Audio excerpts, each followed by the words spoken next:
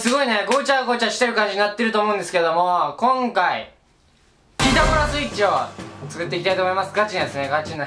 感じのね、まあ、やるからにはなんかちょっとあんま小さいのじゃなくてでっかいのやりたいなということで大体2日ぐらいかかればえー、ちょっとしたものできるんじゃないかなということで今までね動画で出てきたものとか動画で使ったもの作ったものも使いつつ、えー、作っていきたいと思います。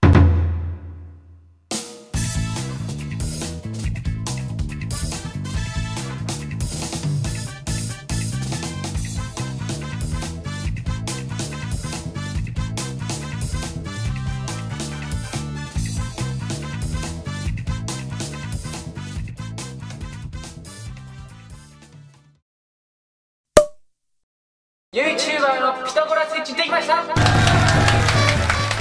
日間ぐらいねあのかかってできました。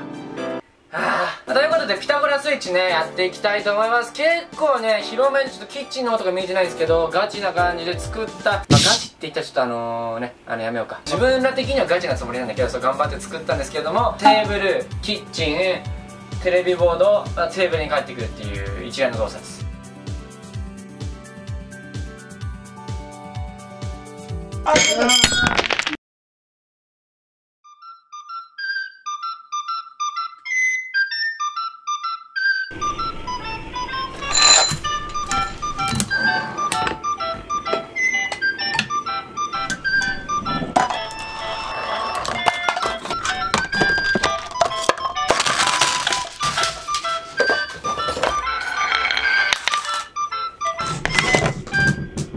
Yeah!